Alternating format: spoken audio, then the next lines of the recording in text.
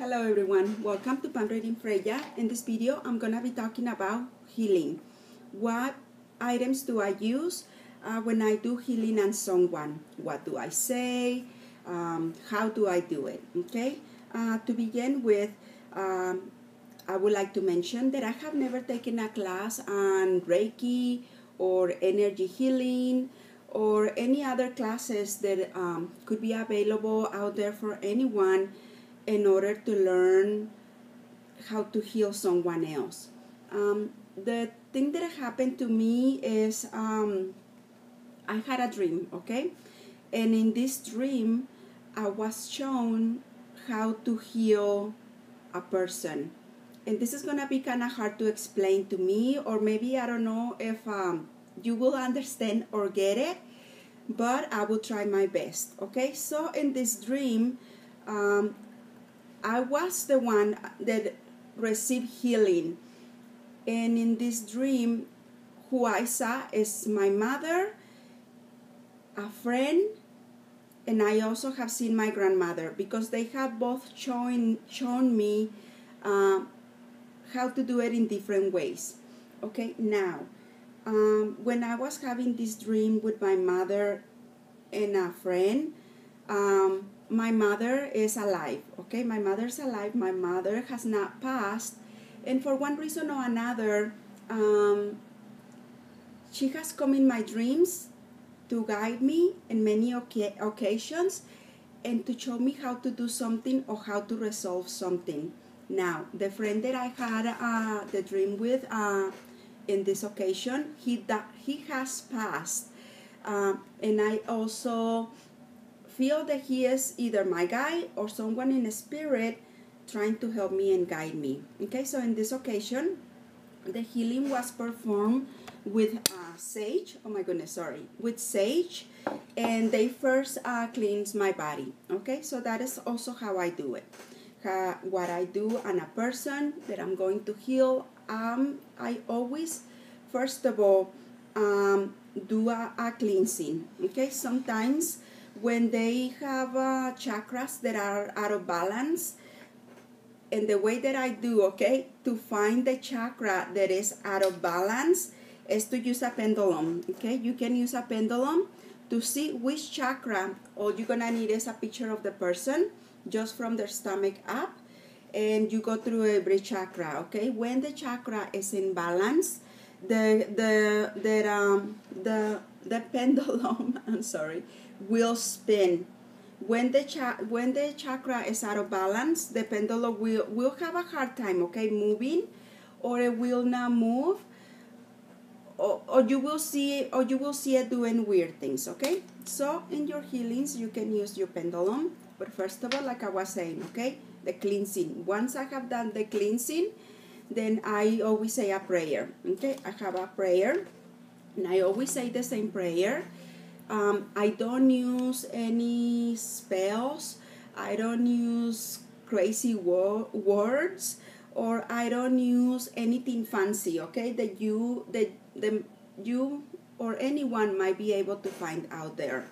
I don't do love spells. I don't do spells for money.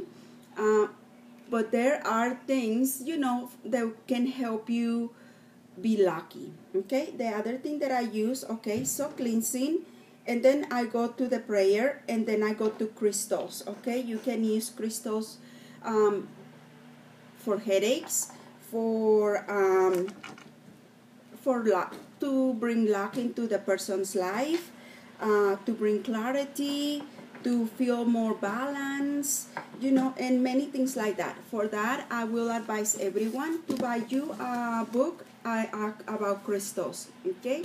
Once you learn okay this crystal i can use it for this and that or that then you can purchase the crystals and then you will use those on the person either on the picture you put them on the picture or you give it to the person okay? They have to carry it either in their pocket or they have to put it in their wallet next to their bed wherever they think okay um, this is better for me okay? But using the crystals is very beneficial and it works. The other thing that i use is um, oils okay? This is a protecting oil. You can purchase a protecting oil and you can implement that in your healings and prayers. Now um, you can also purchase other oils that you might feel um, either attracted to or that you feel um, this is going to help okay? You can buy whatever you want.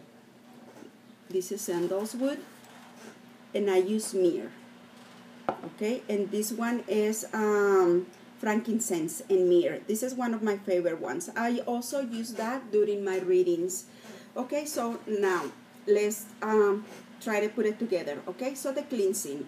Sometimes finding out okay what chakra is stuck? Because um, when a person has a chakra that is out of balance uh, we are going to see that in a, a person feeling a certain way okay? Like for example they might not be able to express themselves they might not be able to to love someone or let go of the love of someone and and that can help you and guide you okay? So cleansing if the chakras are out of balance where they are what crystals can help you how to implement your crystals in the healing and the other thing that I use is candles, okay? It's normal candles. These are not any fancy candles um, that will put any spells or anything like that. Everything that I use pretty much is, you can, you can say it's natural and it's available, um, like this is available at a grocery store, okay? It's just angel, angel Michael, okay? So that, and then uh, the picture um, I'm sorry. So the other thing that you can also um, think about um, what can I use in my healings or what can I give the person after you have performed healing for someone. Um, you can purchase a book about um, amulets and talismans, okay? Because I think that it's important for a person that has received healing to either carry a crystal, I'm sorry, carry a crystal around or um, put on a protective necklace okay? And that is something that you could use. But going down going down to okay what is the main part? What is the main part and where does the healing takes place takes place and how do i do it okay? So what i do usually is i just concentrate on the person and this i do it just with energy okay for example, um, I can concentrate on a person, I start praying about that person, I have done the cleansing. Then, let's say, for example, that someone says, you know what, I'm having a lot of pain on my shoulder. So, what I do is I concentrate on that person and on the person's shoulders, and I just close my eyes and I imagine that I feel that area with light or energy, and I'm moving this energy around you can say that I'm moving that energy either as a vibrational thing or that I am moving that energy in lighting it up and moving it around or this is kind of hard to explain okay? But i just use my vision and the energy to heal that area. Once i have healed it with white light um, i like to also incorporate green light because to me the color green always mean, means healing. And with the incorporation of the white light and with the incorporation of the green light light um, this is how I perform the healing. But this is all mental. This is with energy. Um, it's no touching. It's no physical things. It's no um, I don't know whatever you want to call it. It's not interfering either on the person's will or on the person's mind or things like that okay? This is all um, done like i will say uh, like naturally naturally okay? So after i had performed that you know sometimes a person can immediately begin feeling um, better right away but some other are not the same okay? Like we are all different and some people i notice you know some some might take a little longer than others and I, I usually like to do a three day healing. This indicates for one day I cleanse the person, pray on the person, and um, do a pro, do a protecting oil. Okay, light up a candle next to them, or in an area where I've been praying for that person to get better. I also do the energy healing for the three days. Now, when when a person has healed, I'm I'm also able to receive the symbol, the you know the signal.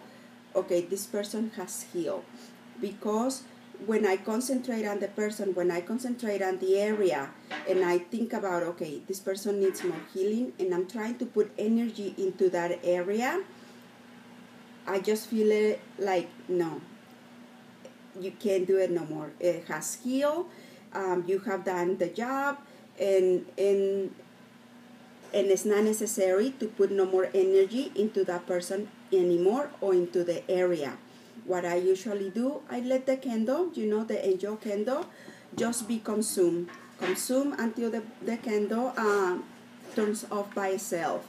This is also something that you might notice, okay, if you use candles um, in your healings. There are times a candle will consume very fast and quickly, and other times the candle will take like too many days, okay? It's like burning very slow the flame is very calm, it's peaceful, and when the candle uh, burns very slow and peaceful, this also indicates to me, okay, this is working. This is um, taking a little longer because maybe either more time is necessary or either um, the person's energy is slowly changing. But when someone has a lot of things going on, you know, this can be a lot of uh, worry, preoccupation, a lot of arguments, a lot of misunderstandings. That at times I have noticed causes the candle to burn very quickly and rapidly. Why? Because it's like using a lot of energy. It's like I don't know, you know, it's all this is kind of strange, uh, but that is how I know it has worked. Sometimes you will also notice a candle could make a black ring around it okay? This indicates to me okay if it has a black uh, ring around it that is an indication okay um, more time in another candle can can be needed and necessary. Why? Because maybe like i said the person is going through a lot of stuff and it's going to need more time okay? So cleansing crystals oils a candle and energy. The energy healing is very hard to explain um, but um, maybe you know uh, you just gotta practice. You just gotta practice and see okay is it energy healing something that will work for me or not can i do it or not maybe also what i would recommend is that you look it up you know you look it up how how how can i learn to energy heal a person and this is all mental for me this is all energetically um, like I said, I don't do any spells to force love. I don't do any spe- spells or anything. Okay, I don't actually. I don't do spells at all. All I do is healing, and this is coming from a place of love, coming from a positive energy, and uh, having uh, in my mind that what I'm doing is for the good of the person. Always in. Uh, in my heart understanding that I'm, I'm either I'm doing it in a positive way or to help the person, never to harm anyone, never to do any crazy stuff, okay? Because um, you know happens. Can you make this person love me or things like that? Okay, I don't like to do that. I ne- I'm never I would never do that. So the other and last thing that I like to also um, use during a healing and that I will recommend anyone, you know, in, especially after any cleansing. This isn't any type of cleansing that um, that you do. Either you can do it with sage, with palo santo, with an egg, or a bonfire, whatever for you indicates. Okay, I'm cleansing myself. What I like to do is give something like this to the person. Okay, sometimes I just give them out free if they are in the United States if not, then they can purchase they can purchase their own. Okay, they can purchase their own um, bracelets. And uh, I mean, for this, the sky is the limit. Okay, you can choose anything. If you are religious, chose something with angels, chose something with a figure that you believe, and put it on, okay? Also, something like this. This is more like for luck and um, having success in life. So, there you have it. Um, as always, before you begin anything new, inform yourself, buy yourself a couple books. What are the amulets that are recommended that will help a person? What are the crystals, you know, that um, are recommended? What does a crystal do? Because I think that is very important, okay? And um, the way that I do it, I also use these crystal energies in the distance to help that person. And um, I mean, I had I had already received a positive feedback about the healings I had done. Um, everyone that I have come across have uh, sooner or later notice an improvement. Uh, like I said, okay, when a person, when you if you are interested in doing healing, I never give up, okay? Never give up and never say, you know what, I cannot do this or not, I cannot do this or that. Why? Because I have also find out that um, some person, some people are easier cases than other cases. Uh, by this I mean some people need more time than others. Not only a three-day healing, some need a 15-day healing, some need a, a, a month healing. But the good thing is that um, you know, when you receive the signal and after you are a little more advanced, um, when you are healing someone and you receive that, that signal, you know what? This person is going to heal. This person is going to be okay. Things are to begin changing. Things are to begin looking better for that person. Um, when I see it and I recognize it, I'm like, okay, I'm glad I didn't stop because um, now I, I have received the signal. And this is something eh, invaluable okay? It doesn't have price. So that's that is why I, I will recommend you okay? If you are healing someone don't give up just put in your mind in understanding okay it's fine it's going to take longer but slowly but surely we are going to get there okay so that is all i have for now as always if you have any questions um, don't hesitate to ask. Thank you for allowing me. I wish you all a wonderful day. Bye.